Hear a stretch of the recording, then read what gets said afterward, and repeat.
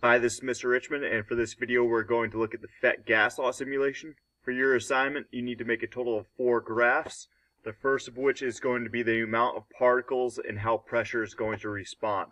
There's two ways that you can get particles into your gas chamber for this simulation. The first of which is just by using this pump handle and going ahead and manually pushing in however many particles enter the gas chamber.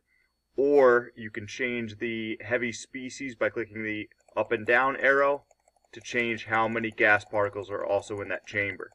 So you're going to go ahead, choose 10 different data points, and look at how pressure is going to respond, and that's what you will be graphing. Your independent variable for this graph is going to be the amount of particles, and the dependent variable, what we're going to be measuring, is going to be pressure in ATM or atmospheric units. So what I would do after changing the amount of particles, I would wait about 30 seconds to see how pressure is going to respond.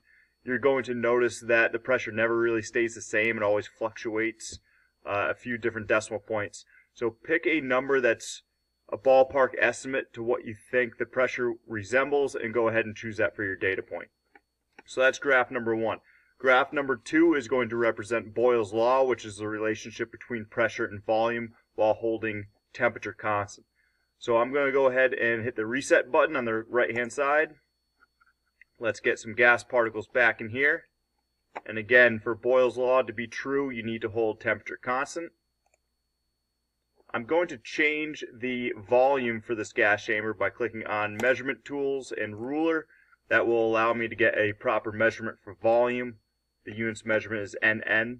I'm assuming that's nanometers.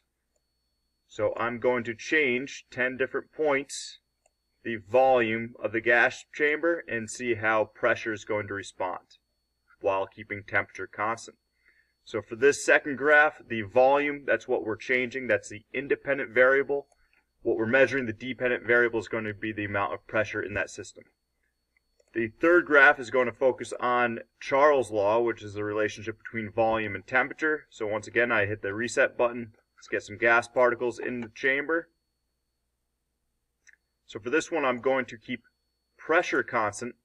I can change, let's keep volume constant. This guy kind of just drags out for whatever reason, so I'm going to hold volume constant for just a minute. And then we're going to see, uh, now he's going to stay, so that's good.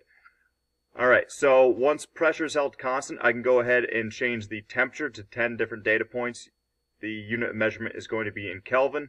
So you can drop the temperature and see how volume is going to respond. So the independent variable is going to be the temp. The dependent variable, what you're measuring, is going to be volume and its response to that increase in temperature. So go ahead, pick 10 different data points and go ahead and make your third graph. I'm going to go ahead and reset this.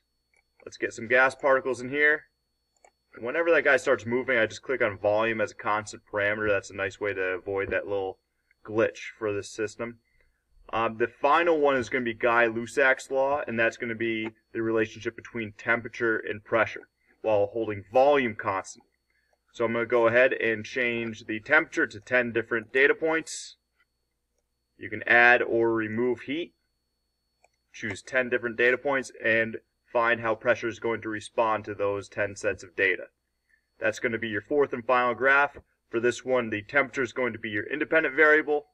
Your pressure is the dependent. I hope that was helpful and good luck with your assignment.